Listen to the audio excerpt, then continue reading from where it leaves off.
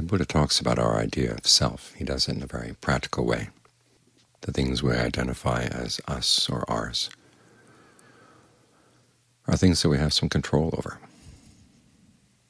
Your hand, if you want to raise it, it'll go up. You want to move it to the right, it goes to the right. To the left, it goes to the left. Sometimes. There'll come a time though when it won't do that.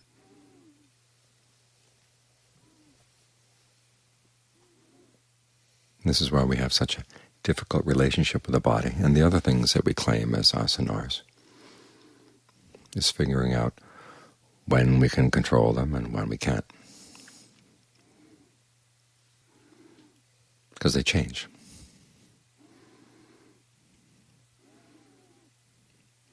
And when they change, they don't ask permission.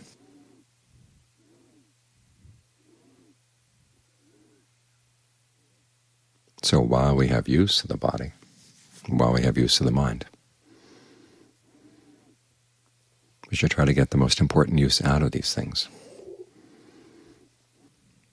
We can use the breath to gain concentration.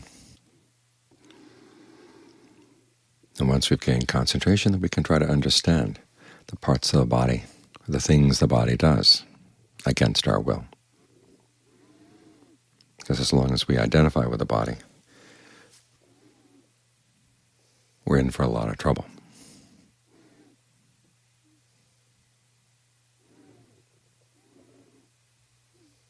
So pain is one of the things we focus on. Because we don't go jumping right into the pain. Because nobody, without the proper mental skills, can stay with it long enough to see it clearly.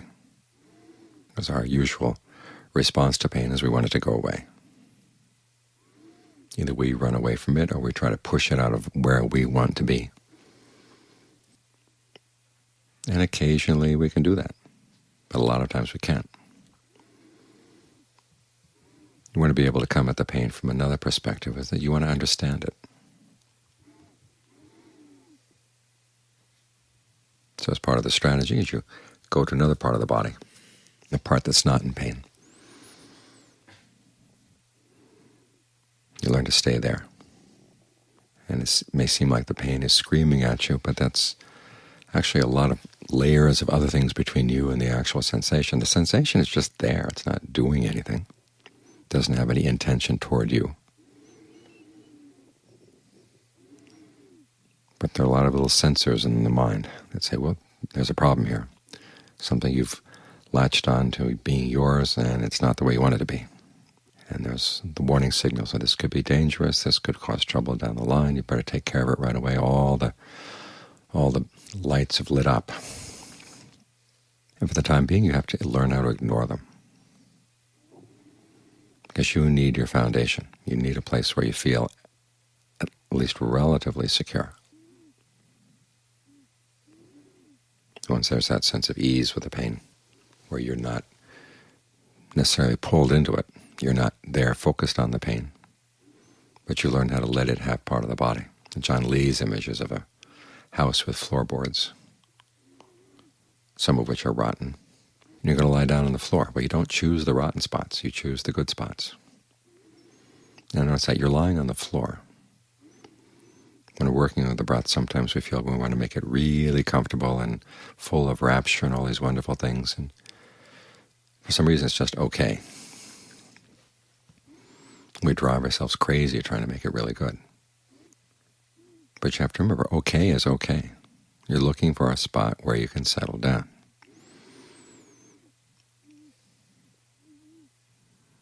That's kind of like Thailand dealing with Britain and France.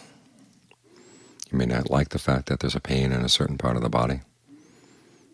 You have to be willing to give up your possession of that part of the body, at least for the time being just like Thailand had to give up parts of Cambodia, parts of Burma, to maintain its independence. You can let the pain have that other part, the part where you're not focused.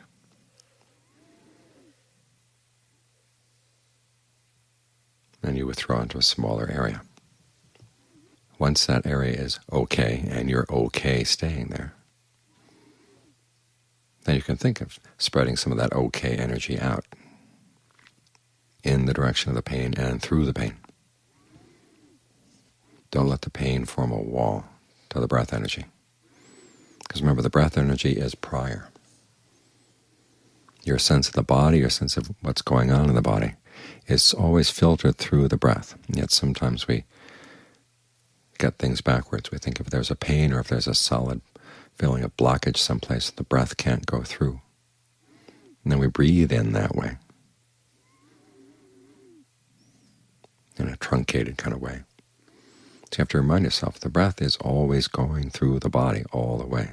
You want to be in touch with that level of breath energy. And keep that uppermost in your mind. What you're beginning to do is take an active role toward the pain instead of just being the passive recipient of the pain. Putting yourself in the line of fire. You're now turning your awareness on it, and you're getting a little bit more aggressive with the pain.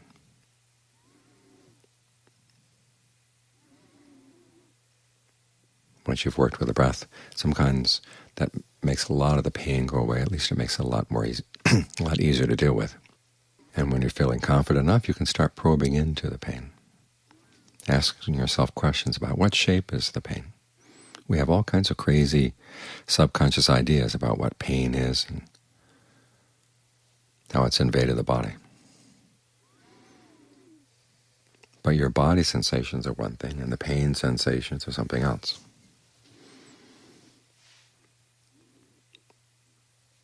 The very least, don't put yourself in the position of being the, the sail that re, some, just getting the wind of the pain blown at you.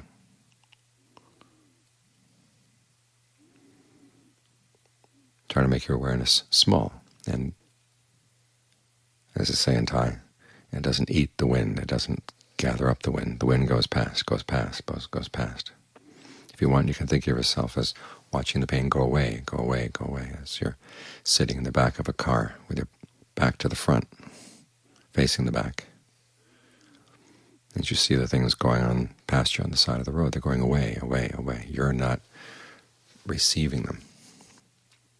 You can ask yourself, is the pain a solid sensation, or are there little bits and pieces of sensations?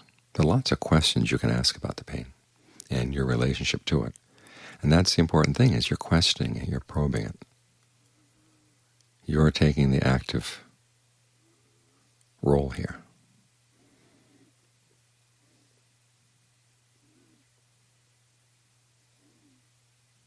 You begin to question the ways you've been picturing the pain to yourself, because a lot of those things are the problem. I read a very strange article the other day, someone saying that perception is the least problematic of the different ways we identify with our, ourselves or our sense of self. Perceptions are neutral. They're not neutral. Perceptions come from our lizard brain, and they carry a lot of impact.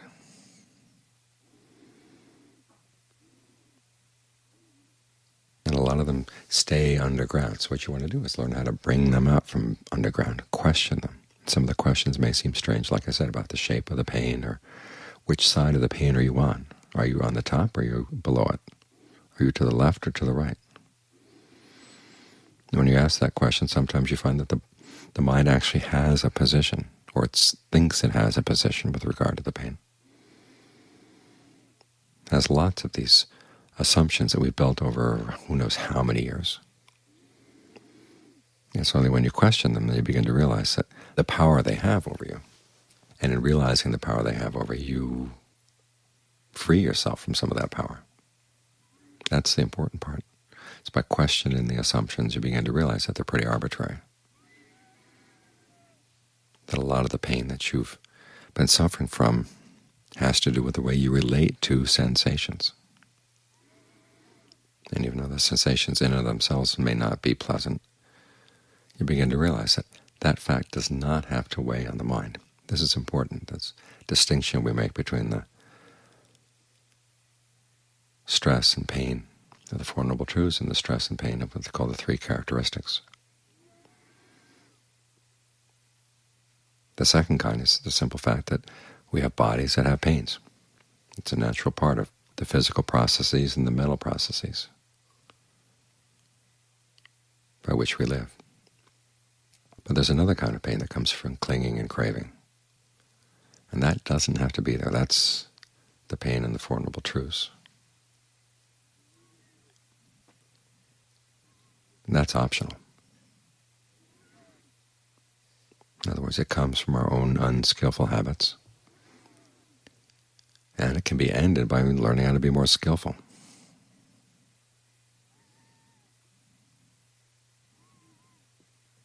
And it turns out that that's the kind of pain that weighs the mind down.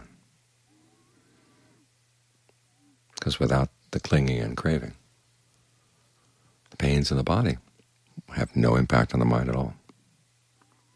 They're just there. It's part of nature. But the mind doesn't suffer. Now to see the distinction between those two kinds of suffering, you really do have to probe into the pain, and you have to come from a position where you feel secure in doing the probing. This is why you learn how to, to deal with the pain for a while, and then you realize that the mind is tired of analyzing things, tired of questioning things, and you go back to your center. Stay there and rest. Let the pain have its area. You go back and forth like this.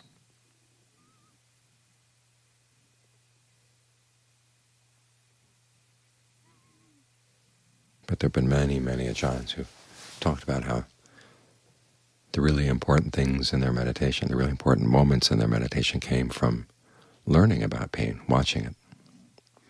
It's something we all want to run away from, but it's through dealing with the pain that we can break through to something really important. It's not like you're pushing through the pain, but the mind itself begins to sort things out. With Ajaan Fuang, it was a headache. Ajaan Suwat, it was a case of malaria.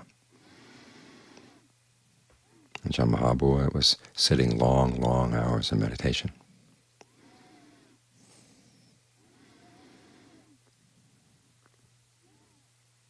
But in every case, it came from realizing that what the Buddha said in his very first sermon, pain is to be comprehended.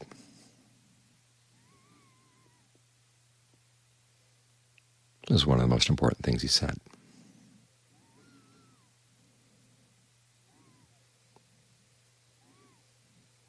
So keep this in mind when you encounter pain, and we all are going to encounter pain. If we're not encountering it now, it's it's down the road. The Buddha said, you know, dukkha, pain, suffering, stress, is a noble truth.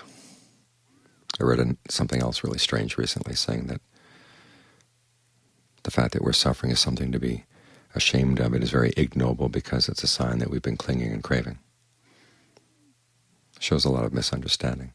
It's noble in the sense that if you really follow the duty with regard to this truth,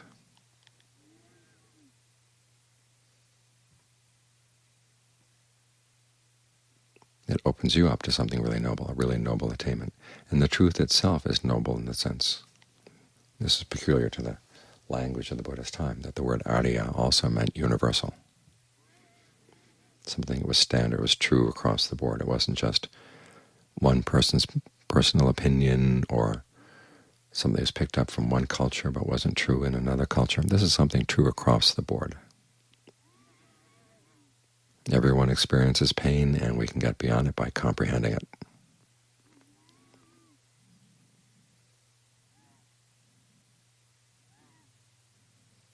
And your willingness to face it is noble in and of itself.